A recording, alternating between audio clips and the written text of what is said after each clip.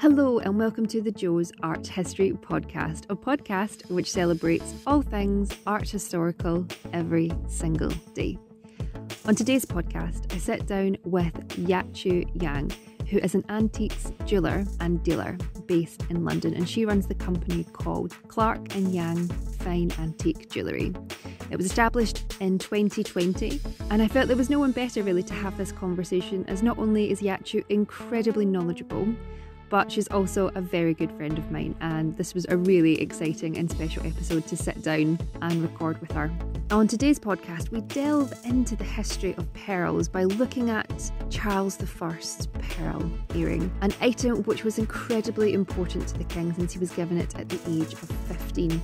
For him, it was a true statement piece and really said something about his character and allowed him to portray himself as this very fashionable, elegant gentleman. And it was also just a way, really, of showing just how wealthy he was. And it was a piece that he completely adored and which he not only wore for his entire life, he even famously wore it to his execution.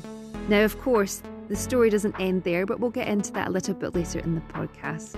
We also take you on a whistle stop tour through one of art history's most famous paintings that contain a pearl, Vermeer's Girl with a Pearl Earring. And then we talk about, just as a little extra treat for you all, two pearls which came to auction within the last decade, which not only have an incredible history, but both set auction records. This is an incredibly interesting chat, and I really do hope you enjoy it and learn a little something. I know I certainly did.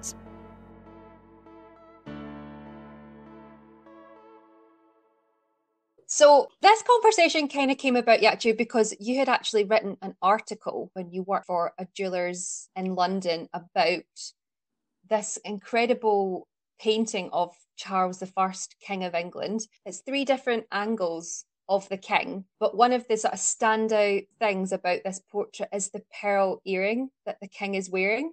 Yes, so King Charles I was actually a very interesting character. He was such a big art collector and he was always into fashion.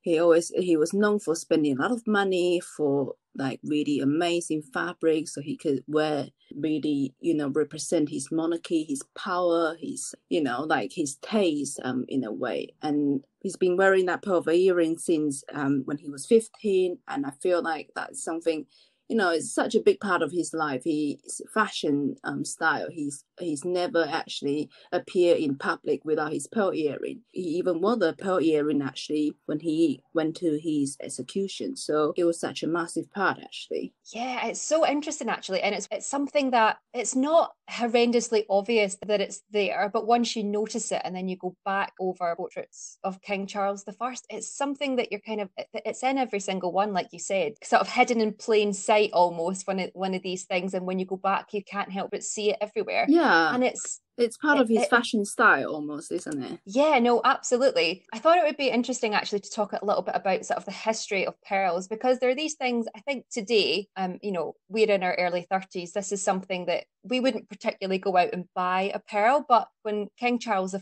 was on the throne, they were incredibly popular. Yeah.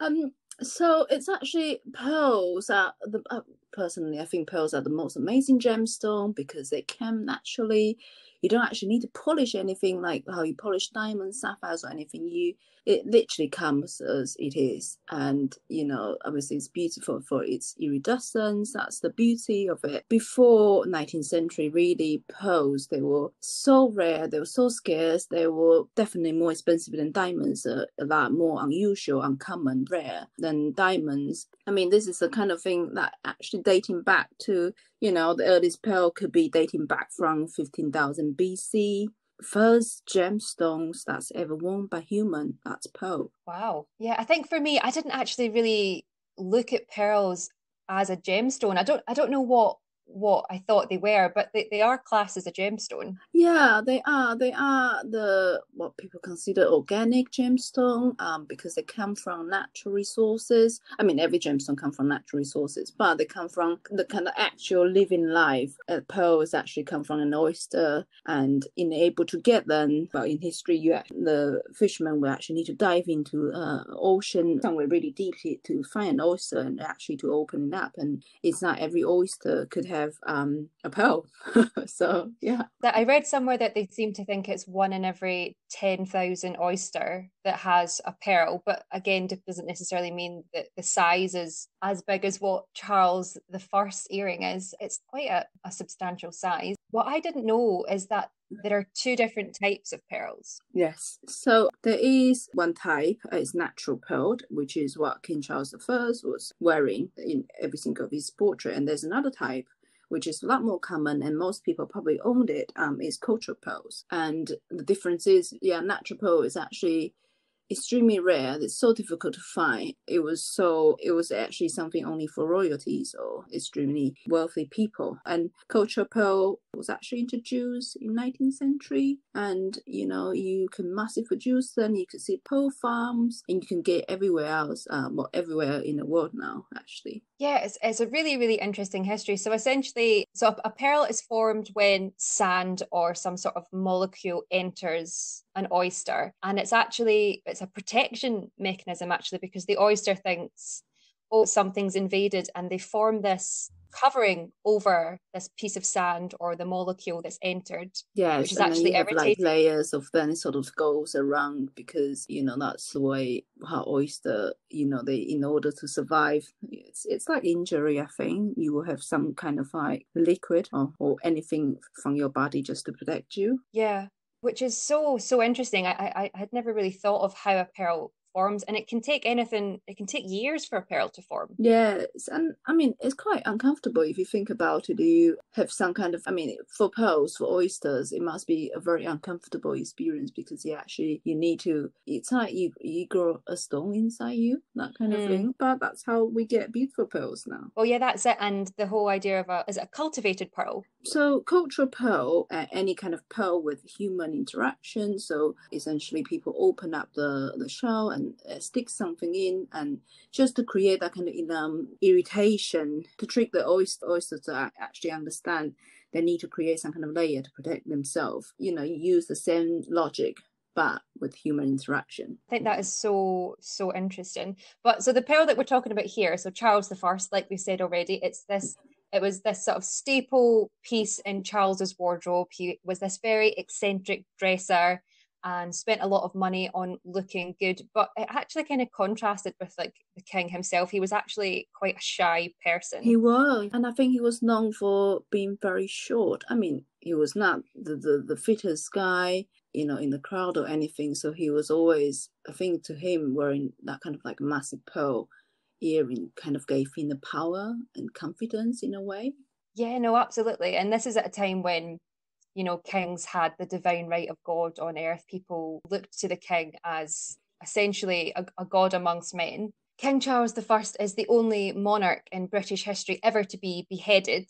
And like you said very briefly, he actually wore the pearl earring when he was executed. Yes, and because I think his idea was probably he's going to want that pearl with him and he kind of like took it to heaven with him. Well, I'm not entirely sure, but I think that's probably something he had in his mind. And later, after his execution, people actually removed it uh, from his ear and gave it to his oldest daughter.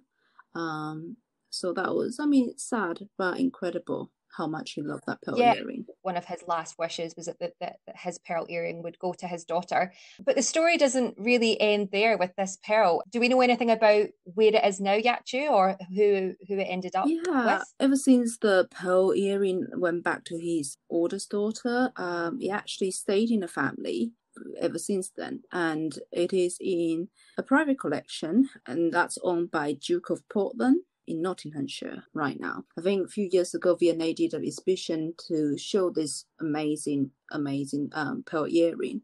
And that was a few years ago. And I think that was probably the last time that's um, on public for people to see. Yeah, it's just amazing actually. And he just has it in his home, and like you said, in Nottinghamshire. It's, it's this beautiful, um, almost sort of teardrop shaped pearl. Yeah, and you have a kind of like little crown um ornaments carving the you know like carving ornaments on the top of the pearl just to um emphasize the power of the throne. That's quite interesting. Yeah, no, absolutely. It's just this incredible, incredible thing.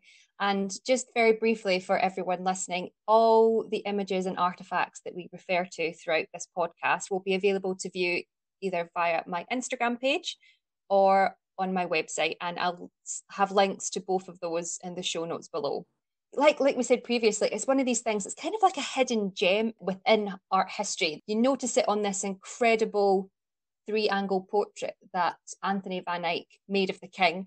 And if anyone is London based or has been to the National Gallery, there's an incredible equestrian portrait that's just been re unveiled after extensive conservation work. And it's King Charles I on horseback. It depicts him riding off into battle, wearing the earring. It's just unbelievable. Yeah, it's like if, almost every single portrait of him, you could see him wearing that pearl earring. It's just and you can see like King Charles I when he was 15 year old, he's like first ever grown up ish portrait. He already had it on, and it was massive right next to his little face. well, that's it.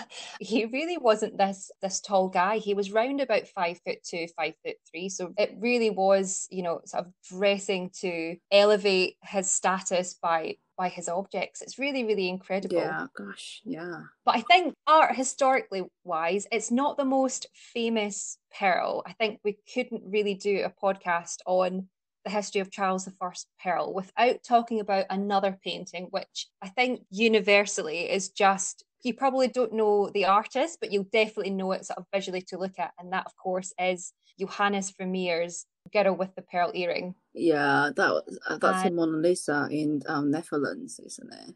yeah, yeah, the Mona Lisa of the North. For anyone that doesn't know what this portrait looks like, it's a, a very intimate scene of a young girl just casually sort of looking behind her, and she has on this incredible blue and gold head scarf, and she's wearing a very plain sort of brown smock, but the standout piece, and there's, there's it's really not a lot of detail yet. I don't know if you if you would agree, but it's just a flicker of a suggestion. Yeah, because wasn't of, she a maid before? It's something like this. I mean, historians don't really know who she was there, and there's no there's no mm. But it's just a very sort of light suggestion of this pearl earring, and as she stands against this very dark background. Oh, it's so striking that but pearl. This, it's massive and um, yeah, it's incredible. Well, that's it. And Vermeer's quite an interesting character because there's only about so reading for this, it's it's kind of people are divided. It's between sort of 34 and 36 paintings. That's all we have of Vermeer's work that are 100% attributed to this artist. But like you said there, this pearl is absolutely massive. So as a gemologist, Yachu, and going on what we've said with um, Charles the First having this enormous wealth on, on, and being able to afford something like this, humble painter Johannes Vermeer, what are the chances that this pearl is real? I mean, it's so difficult to know because just by looking at the painting, you can't really tell whether it's that's an, an actual, a real pearl or not. But I will say the size, it's actually, it's not smaller than King Charles I's pearl earring, if you see what I mean. It's actually pretty much the same size or bigger. Yeah, it's humongous. It's, and, and essentially, I mean, in in history, pearls with this kind of size usually will only go to one place for a family. You know, the the wealthiest men or people who own the most power. Really, I honestly, I I can't say. it's something that I've never really contemplated before, actually, and it was only in doing the research for this podcast that I I've kind of looked into a wee bit. And like we've said, like Vermeer and this painting, so little is really truly known about it. But what historians seem to think is that it's fake. Yeah, and um, really for that kind of era, um, you know, when the the painting was done for somebody who who was able to own this um, pearl earring will be extremely extremely wealthy. So yeah, the chances are I I have to say probably quite small for this to be yeah. real. So earlier in the 16th century, there was a bit of a fashion in Venice where people would make imitation pearls for women to wear. Because, like you said previously, these were incredibly expensive and they still are today. Natural pearls, incredibly expensive, very, very rare. And there was this fashion in the 16th century where people wanted to wear them. So in Venice, they developed this method where they would make these fake earrings and necklaces from blown glass or metal and they were painted to give it this sort of very pearly matte finish that you see here in the earring, um, which I just think so interesting. You know, at the time when this was painted, sort of 1665, pearls were all the rage in the Netherlands where Vermeer was painting. And there's actually like, like we said earlier you know there's a very small number of paintings art historically wise that are sort of solidly confirmed as being by Vermeer's hand. And in 18 of these 36 paintings, Vermeer includes pearls in some way or another, which is something, a detail that I, again, kind of like Charles I's pearl earring, I had never really noticed before. And when I've kind of gone back over things in preparation for the podcast, it's something that I can't really believe how many times he exactly, and it's um, it's the same massive um size yeah, that's right. They're all absolutely huge. A lot of them are wearing these incredibly huge, extravagant teardrop pearl earrings. They're, they're incredible. And there's one in particular where um, there's a, a painting called Women Holding a Balance. And she's not wearing any jewelry, but has several pearl necklaces sort of sort of laid out. So they seem to be almost sort of cascading out of her jewelry chest or box or something. It is really, really yeah. incredible. He actually has a painting called young woman with a pearl necklace where she's sort of playing with her her ribbon around her neck but the very obvious focal point is this incredible sort of flicker of light that very subtly but beautifully picks up the pearl necklace and earring that she's wearing very much like what's going on with girl with the pearl earring it's just yeah it's just but um, amazing. Whether or not this is real or not he definitely did a really good job to depict the pearls so actually arts and culture google have an incredible six or seven page article on Vermeer's use of pearls in in his paintings and I'll link it in the show notes below just in case you're interested at all. But I would definitely encourage everyone to go and have a little google and see how many pearls you can spot in Vermeer's paintings. It, it really is it really is something symbolistic wise i mean art art's all about symbols and sort of subtle representations and sort of hidden meanings behind the canvas. Do you know of any sort of art historical meanings of portraying a, a pearl yeah. and what it could mean for the sitter or the person so um i think everyone probably all know this painting another really amazing painting is the birth of venus Oh yes, yes Botticelli. Exactly. I think that actually represents the beauty of Pearl so well because you have this most beautiful woman that come out from the shell, and that's the most incredible, beautiful, untouched woman in the world. And I think that's probably you know the the best way to say about how beautiful the pearls that really are. They are they represent purity, innocence, just the kind of uh, natural beauty without any work. I think that's um something that's why you always see pearls like worn by different ladies, the most incredible woman in history and in different paintings. I think it's just because of the beauty and because of the symbol of it. It's so interesting actually. And when you when you think of that meaning of purity and innocence and you go back to look at Johannes Vermeer's girl with the pearl earring, that is that just sums up exactly this young maid, what she's portraying, the, the innocence in her stare, the sort of curiosity, the the vulnerableness, the the purity in in her act of just just sort of very lightly turning her head. It's really incredible, and that the Botticelli Birth of Venus painting is so iconic as well, and it's so funny. I never would have associated her as a pearl coming out. Well, of, that's so interesting. It, describing the most beautiful woman um, in a world. He actually put her inside a big shell that's a big statement. Absolutely. Absolutely. It's it's just incredible. And uh, again, just to sort of re-emphasize this tiny little thing, this minute detail on a painting and the sort of the connotations and, and sort of hidden meanings behind it is, is quite incredible. And it's something that has continued to sort of follow pearls, you know, their whole way through history, really. And even today, like we said, not particularly in our generation, seen as something that are particularly very popular or desirable when you think of something like diamonds or emeralds or you know uh, things like that. I don't think i know any of my friends that that would have ever said to me oh i would really love a, a pearl necklace. Not to say that that won't change in, in any in any any time soon but pearls have made headlines our whole lives and particularly when specific pearls have hit auctions. And there's two in particular that we're going to talk about just a very nice sort of link while we're talking about pearls. So the first is a pearl necklace that came to auction in 2011 that used to belong to Elizabeth yes. Taylor.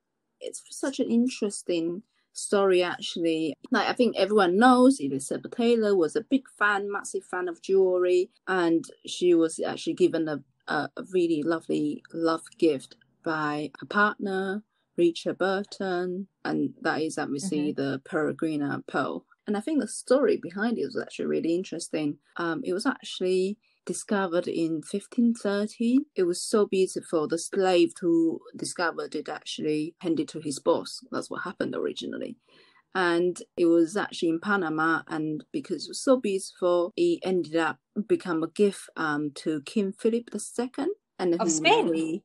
Yes. Oh, So it's really interesting. This well, people say that. So there's been there's a debate about it. But who? Yeah, King Philip II actually married Queen Mary the First. Later on, they got married quite young, and um, it became her bridal present. Um, so it was just really fascinating his like story and history behind this pearl, and you could actually see Mary the First of England wearing this beautiful massive pearl as a brooch, uh, a piece of jewelry in one of the portrait that was you know depicting her. So obviously that's incredible.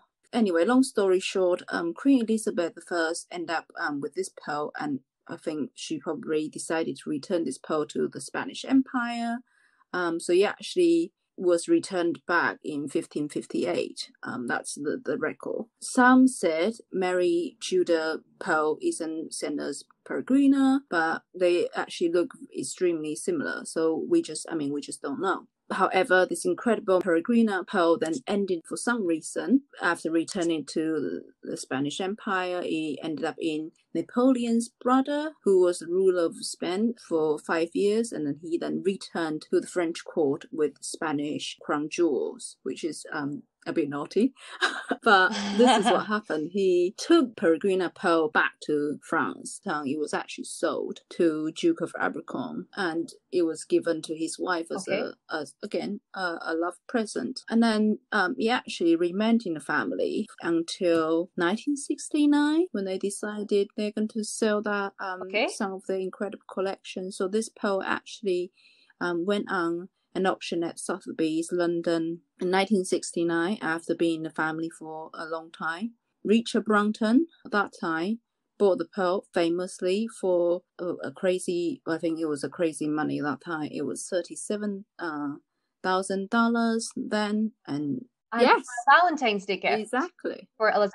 It was so That's just interesting. Like incredible. she, like, obviously, she really loved that um pearl necklace or the the pearl pendant. She actually converted that into a necklace, and she's actually written a book. So her book is Elizabeth Yes. Taylor, My Love Affair with Jewellery. But yeah, you said there's a really great Yeah, story. she- There's one day she realized she couldn't find the pearl necklace. She looked all over the place, couldn't find it, and she just thought she's just going to open um the puppy's mouth, and she then screamed because she saw that pearl lying inside his mouth. It was actually in quite perfect condition, she So- said.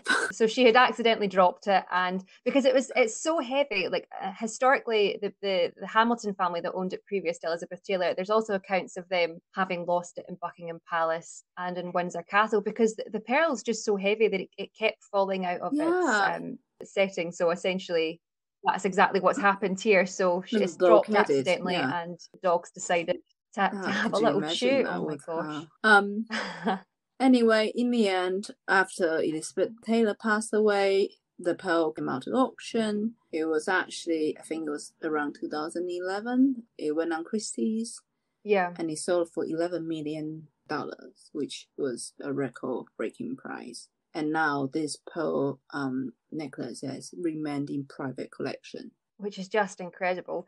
And like you like you mentioned there, when it was bought by Richard Burton, she actually went to Cartier and had Cartier redesign the necklace, and she also said it within is it rubies or rubies or emeralds or something that she also that she also Yeah. incorporated into the necklace. We'll leave a link to an Liz Taylor wearing it. It is It's massive. quite something, isn't it? It's unbelievable. Like if you think of the blingiest bling and then times that by ah! ten, that doesn't even really touch the sides of Elizabeth wearing this. It's I know, incredible. I feel so like so she's the beautiful. only lady who could actually put it off like this. Oh my goodness, absolutely. If you and I tried to wear this, it just wouldn't read in the same way that it does with her, but she just had this incredible elegance. Oh gosh, that's like we said, it's an incredible, incredible pearl necklace, but it's not the only pearl necklace that's made headlines. There's another pearl pendant everyone was literally talking about if you go on Instagram. that something is all over the you know the Instagram page all the time. Um, it was actually Marie Antoinette's pearl. Yeah, which is incredible. So Marie Antoinette, the famous queen that was beheaded during the French Revolution, massive um, fashion fan. She spent so much money on jewelry. This particular pearl pendant was so beautiful. It went on sale at Sotheby's auction house in Geneva, Switzerland in November 2018. And I actually have the extract from the catalogue. So it's a little bit of provenance and background to essentially prove that this, this necklace came from Marie Antoinette. In March 1791, King Louis XVI Marie Antoinette and their children began to prepare their escape from France. According to accounts written by Marie Antoinette's lady in waiting, Madame Campan, the Queen spent an entire evening in the Tuileries Palace, wrapping all of her diamonds, rubies, and pearls in cotton and placing them in a wooden chest. In the following days, her jewels were sent to Brussels, which was under the rule of the Queen's sister, Archduchess Marie Christine, and was home to the Count Mercy Argenteau. The Count the former Austrian ambassador to Paris, was one of the only men who had retained the Queen's trust. It was he who took delivery of the jewels and sent them to Vienna, into the safekeeping of the Austrian Emperor Marie Antoinette's nephew. In 1792, the royal family was imprisoned in the Temple Tower. Louis XVI and Marie Antoinette were executed by guillotine in 1793, and their 10 year old son, Louis XVII, died in captivity. The King and Queen's only surviving child, Mary Theresa de France, Madame de Royale, was released in December 1795 after three years of solitary confinement. After learning of the deaths of her mother and brother, she was sent to Austria. Upon her arrival in Vienna in 1796, she was given her mother's jewels by her cousin, the Emperor. Having borne no children of her own, Madame Royale bequeathed part of her jewellery collection to her niece and adoptive daughter, Louise of France, Duchess of Parma, and great granddaughter of Charles X, King of France, who in turn left them to her son, Robert I, the last ruling Duke of Parma.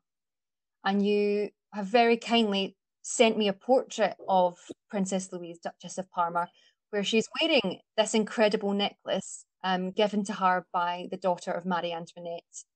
And it's just this incredible story, really. And if I needed to escape France, I would. I don't think I would spend very much time ah! wrapping jewellery. I think it just shows Marie Antoinette's incredible sort of forward thinking that if she was exiled, she could maybe dismantle this jewellery and sell it for money for the family. I think it's really incredible that that's what she's. That was, in my opinion, that must have been her thinking. It wasn't, oh, we're going to escape France. I'll, I'll send all my nice things ahead of time. I do think there was um, there was reason behind it, but I, I just think it's it's incredible. But anyway, we digress a little bit. So, like we said, this incredible. So it was a selection of jewelry, but this the sort of key piece of the evening actually was this incredible pearl necklace that has this really beautiful diamond and pearl sort yes. of droplet right in the center of it. it. But it made headlines. So why did this necklace in particular I mean, such a, make headlines? Such an incredible piece. Um, if you think about from the fact that a natural pearl with this kind of luster, with this kind of quality, this kind of size, and it once um, it was once belonged to the last queen of France, Marie Antoinette. That's such an incredible story. It's also been done in such a beautiful way as well. You can see a beautiful, um, massive French bowl, and you have this pearl and dangle down. So from a jewelry making point of view, you have the most incredible material and you have the most beautiful design and most importantly you actually have this bit of um, incredible provenance the history actually. Yeah the story you are literally wearing a piece of history. It's just the most incredible necklace.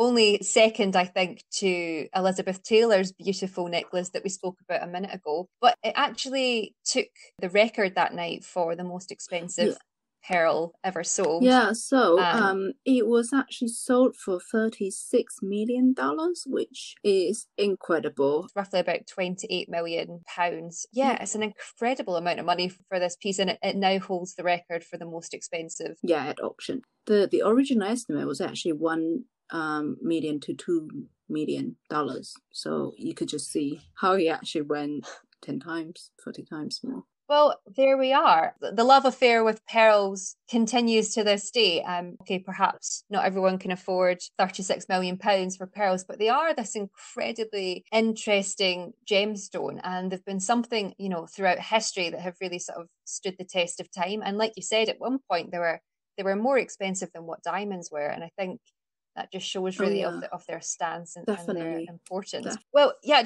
thank you so so much for coming on and talking about Charles the First pearl earring and um, sharing all your knowledge on that and the two amazing tales that we've spoken about. And got one final question for you. Okay, so this is the Jo's Art History podcast, and I've asked all my guests this question so far. Why is art? Well, I think um, especially for I think for somebody who's like me, so into jewelry, um, art is just so it's just such an incredible way to record what happened in the past. So you know, if you wouldn't have been, if it wasn't Van Dyck's painting, we wouldn't have known that King Charles I was uh, so into like his earring. Uh, you know, we could see him wearing that from different portraits, and if he wasn't somebody who's sitting there painting and recording everything wouldn't have known what you have been like back then. And why not? Everyone needs a bit of art. Yeah, no, totally. I completely agree with you. And that's so interesting. I think you're the only person I think so far that I've spoken to that's that's kind of noted art as like an important recording device of times gone past. It's so, so true. Like like you said, like, you know, we can trace it through all these paintings and and the history of it. And now nowadays we have photography and things yeah. Like so it is it's, it is definitely so a very interesting um, factor, especially when you are trying to do some research and then you look back and you can find different pieces from you know not just jewelry. You can find furniture or uh, different pieces, different items you're looking for essentially, and find them from different paintings. So, I mean, it's quite interesting to think about from this perspective historically wise is you know pearls have always played a part. I mean but yeah there's there's like such an incredible history uh, surround them actually. And like there's a fun fact that i that i want to share actually about cleopatra. So um like an anecdote relating to pearls and cleopatra. So she actually in a bet with mark antony she said that she could host the most expensive dinner party essentially that ever happened. And he was like right okay i'll take you on that bet. And during dinner she beckoned a servant to bring her some vinegar and a glass and she had these incredible pearl earrings and she took one of the pearl earrings and dissolved oh it in, in, the vinegar and oh. drank it. And that's how that's how she won the bet which is just amazing. It's just amazing. And there's there's so much i mean we could literally sit here all day. I mean i found this incredible article which i'll link below actually in the show notes and it's 16 fun facts about the history of pearls because Cartier, the flagship store, is this is in the article as well. The flagship store in, of Cartier in New York was actually the building was bought by Cartier giving the previous owner's wife this natural pearl, which was worth millions and millions of dollars. So, so in exchange for the retail space, which is now Cartier's biggest store, incredible, he gave them a pearl, and that's how he bought the flag. It's just amazing. Anyway, I won't. I won't go on and on about it. But yeah, actually, I want to thank you so much for coming on and being so generous with your time and your knowledge. This has been such an interesting chat with you, and I've really loved researching this because I'm I'm not I'm not a gemologist like yourself, and I don't really um, I don't really know anything about the history of jewelry. But I think this is just another great way of and another dimension of where art history can take you by by looking at things and you know looking for the details beyond the canvas like you said with this pearl earring and, and sort of where that has has led us down to. Because when we initially discussed this podcast we were just going to talk about you know we are going to have like a 10 minute chat about this charles the first earring and that would be it. And then it ended up led us both down this rabbit hole where we're like oh we could talk yeah. about this and oh my gosh have you heard about this? It was just so exciting my pleasure. and really loved it. So thank you so so much. Uh, before you go um where can um, people so, find yes, you and follow uh, what you're up to what I have been doing recently, ever since the lockdown, actually, is to launch my own online jewelry business, and people could actually find me on Instagram. So it is called Clarke and Yang Fine Jewelry, Clark with an E, uh, Clarke and Yang Fine Jewelry, and yeah, um, we have been well. It's, well, this is actually what I believe. Actually, you know, jewelry should be timeless, should be sustainable, and um, should be something really unique. Uh, and we really try to specialize in like unique, special, vintage or antique pieces that you could love forever. You could, uh, like Marie Antoinette, you could pass down generations. And because I think, you know, jewelry is so important, it, like King Charles I, it's a way to represent yourself, um, your taste, your status, how you believe, what you believe, really. And this is actually our aim. We want to supply people with that kind of belief. We have been applying really timeless, beautiful, vintage and antique pieces. And we also have been working with some incredible artists for the limited um, edition of art jewelry. That's something, again, something people should look at and really should.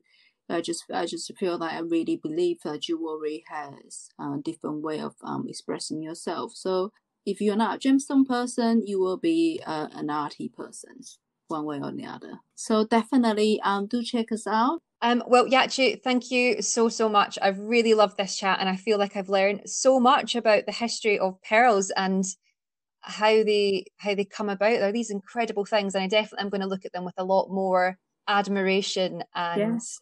Art can like we said art can lead you down so many paths and you know there's a history within everything and you just have to sort of look deep enough and it will it, you'll find something that interests you Thank you so much. But yeah, Jay, thank you so, so much. You've been fabulous.